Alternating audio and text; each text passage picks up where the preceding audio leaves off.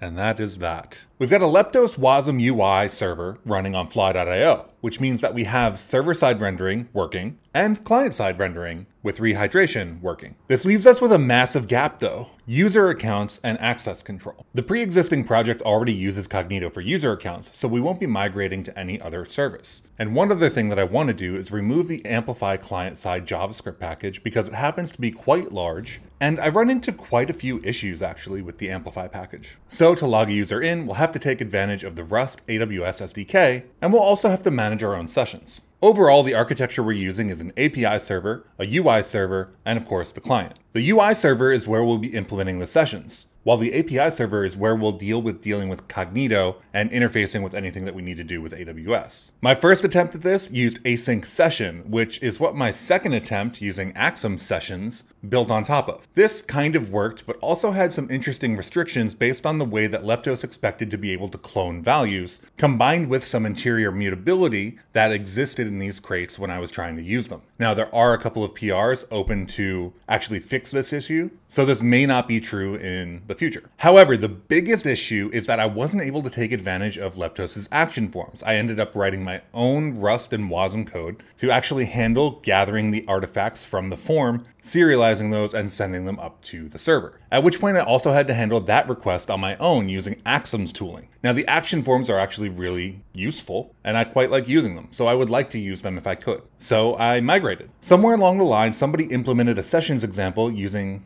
a different crate in Leptos' examples folder. This used the Axum Sessions auth crate, which is different from the Axum Sessions, the Axum Session, and the Async Sessions crates. Basically, when working with sessions and Axum, it feels like any combination of those words will land you on a crate that is not necessarily the crate you want or the crate you happen to be using. Honestly, I still have some issues remembering whether I'm using the Axum Sessions crate with the S or without the S. Now, the example app works, so if you want to go check out what sessions look like in a real Leptos app, go check out the example, which I'll link below. But the underlying crate has already been renamed on crates.io and received a new release. So I decided to use the renamed version and use the example as a template, so to speak, for how to integrate between Axum and Leptos. So where did I end up? Using Axum Session, no S on this crate name, by itself without the higher level library, and passing that into Leptos as context using some additional handler functions, I was able to get database backed secure sessions. The sessions then are controlled by the UI server and HTTP only, and the Cognito integration happens in the API server. On the API server, handling errors is particularly important because this is a particularly important piece of functionality for the Rust Adventure site.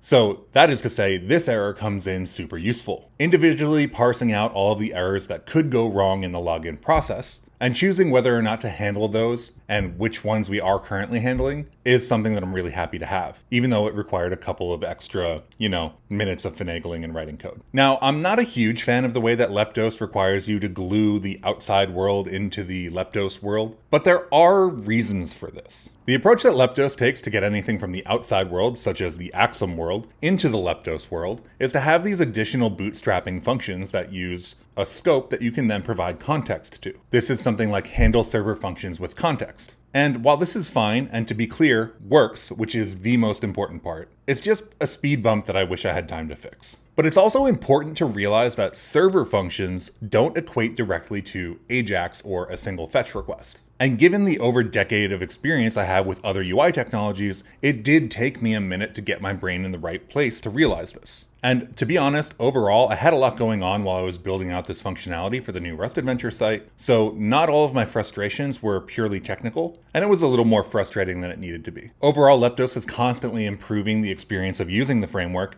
and I'm excited to see where this goes over the next year. If you enjoy my videos, don't forget to subscribe to Rust Adventure, because that funds not only these videos, but also the more in-depth researched workshops on the site. And I'll see you in the next video.